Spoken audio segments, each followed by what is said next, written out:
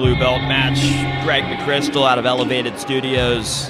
And his opponent today, representing in the blue corner, is Mendel Bulua, fighting out of Crazy 88. Mendel Bulua, Crazy 88.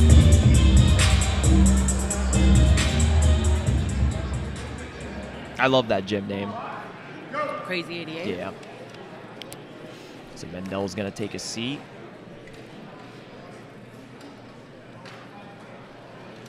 Shout out to Greg's shorts. They're pretty awesome. I think he wears them. That's like his go-to for competition. Cheetah print.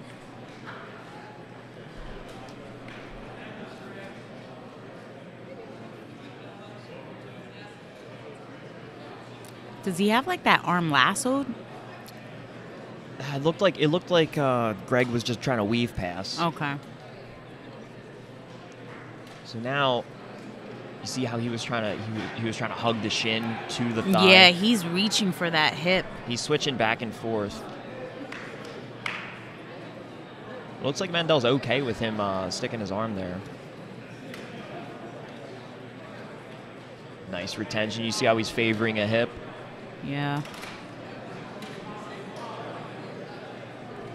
That's the type of uh, discipline that you see in the more experienced competitors. Like their willingness to to stay on one hip as opposed to switching and becoming more uh, susceptible to like misdirection passing. Absolutely. I, I was thinking he was going to flip that triangle over because the way the arm was like lassoed, Right. but it looked like Greg recognized it.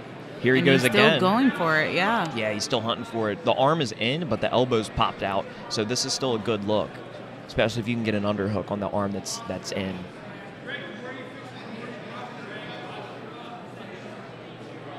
Yeah, I don't think I don't think Greg wants to posture up. I think he needs to get his shoulders inside.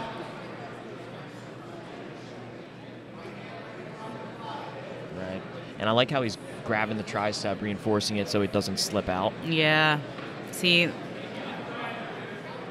Now he has that arm isolated. Yeah, I was, I was going to say he's going to grab his shin and get the angle a little bit better. Flip it over. Now it's locked. Now we have looks at the arm bar too. Ooh, and it's belly down. Super deep triangle. Greg is keeping his level low. I think what's saving him is, is his hips aren't underneath. Wow. Straight arm bar.